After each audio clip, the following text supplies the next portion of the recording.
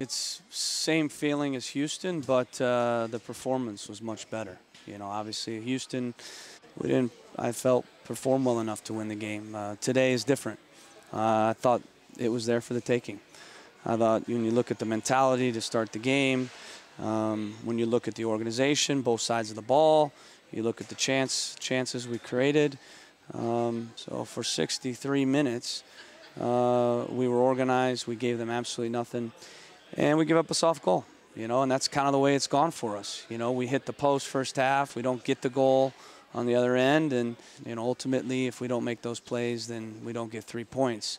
Um, that's the name of the game. You can't win unless you finish, and you know, and yet I think you have to stay in a game uh, to give your attackers time to, to finish because you know you don't always finish. Sometimes it takes a late late goal or and you know you just felt like with the way the game was going that we were going to eventually get a goal.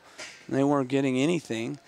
And you know we get caught up the field and uh, you know Hairston gets in behind and you know those plays have to be made you know and that's that's where we're falling short. We're falling short in the moments in the boxes and um, you know if if we don't make those plays we don't get three points no matter how well we play.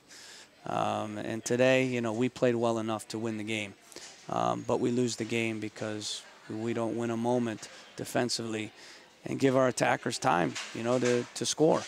Um, obviously, I thought we were unlucky a little bit with some of the chances, but you know, we don't give up that goal. It's a different result, and you know that's that's the uh, frustration. You know, you play well enough, and you think you should get more, and you don't.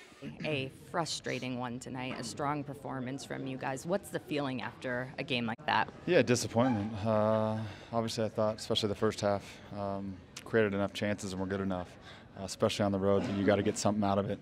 Uh, so we're a little disappointed to come in at halftime uh, even, but uh, yeah, it's it's a disappointed group right now because we knew uh, what was at stake and how big of a game that was.